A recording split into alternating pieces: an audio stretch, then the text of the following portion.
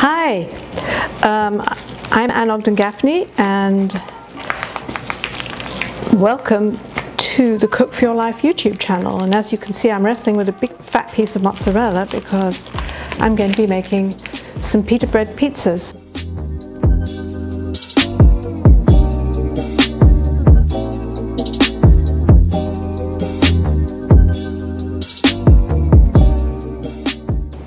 Now I'm going to be making them with artichokes and olives and we're going to top it with a little arugula salad.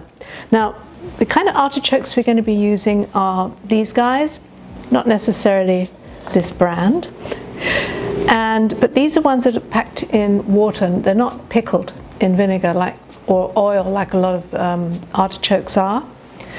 And so this is what you need to look for. And you can use canned or you can use frozen artichokes, but I like canned because they're always there when you need them. And you can use them for a lot of other things as well.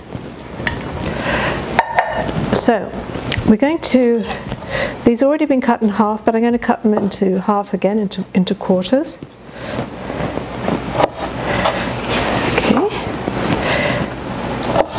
I mean, this takes all the agony out of artichokes. And these are canned artichokes like this, you know, once they're drained, you can use them, you can roast them with potatoes. They're really kind of great. Now, I've just got ooh, this on here. So I'm going to make two. Though the what we have here is probably you could probably make four with. So let's cut another bit of that. Okay, so I have here some um, quick tomato sauce from, from our website. Now this is really basically all it is is canned tomatoes with garlic and olive oil. And it's one of the easiest, quickest pasta sauces you can have and it freezes really well. And it's also really great when you're making these pizzas. Now one of the great things about using a pita bread as opposed to pizza dough is that first of all you don't have to you don't have to uh, roll it out or do any of those kinds of things with it. Also, you can just keep a stack in your freezer and then just use them as you need them. They freeze so well. So I can do a little bit more. This has already got quite a lot of garlic and stuff in it, so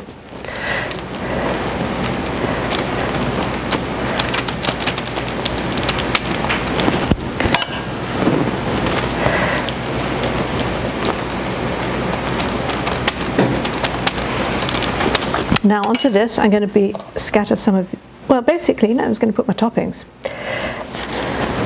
kind of how I want them.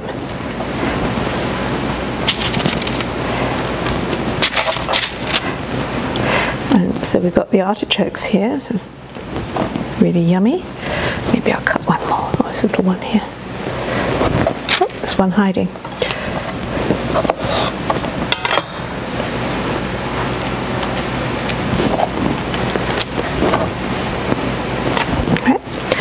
And now we've got some capers and some pitted, these are oil cured olives that have been pitted. Looks great already, you know. One second. So, I mean, these are looking pretty pretty already. And the thing is that, you know, pizza always, people say that being so unhealthy. But you can make a little pizza like this with pretty good ingredients. Right, now we're going to put some capers on too. These are all going to add salty tanginess, which I love. Love me a caper.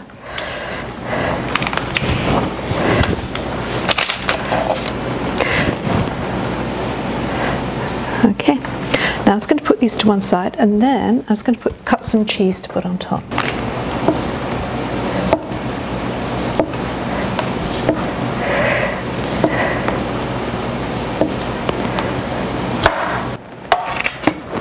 So we're going to be putting like the, the cheese on top.